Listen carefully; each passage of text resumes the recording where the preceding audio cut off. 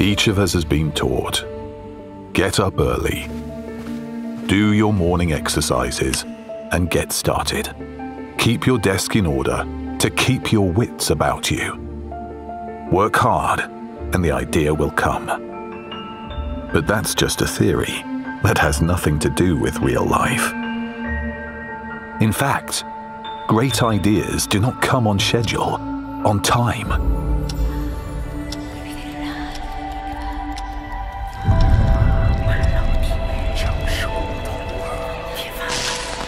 Find inspiration everywhere, even in very simple things.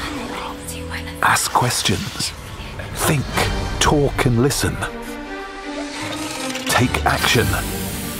Imagine. Compare. Explore.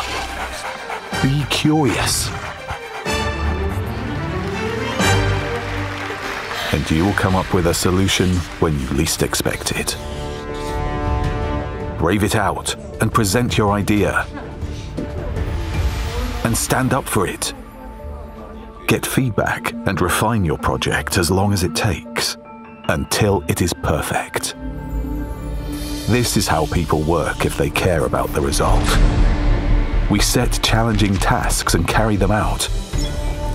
We gather tons of data and teach machines to do the same. Sometimes it's hard, extremely hard. To make a better product, you are to make yourself better. This is not an easy task, and teamwork is what really matters here. All those who've joined the team concern themselves with our business and heartily support the idea. It is the only way to transform an idea into something real, into an absolutely innovative product a product that can make the world more transparent and secure. So, where do ideas come from? We can give you only one hint. It comes from passion.